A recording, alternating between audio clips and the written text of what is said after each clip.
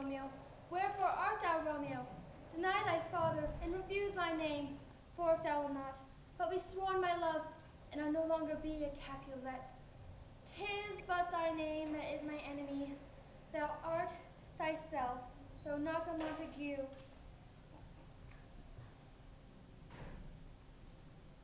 What's Montague?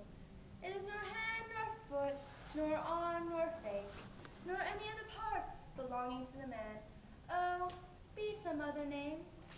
What's in the name in which we call a rose? By any other name would smell as sweet.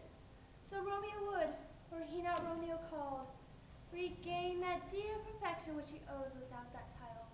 Romeo doff thy name, and for that name take no part of thee, take all myself.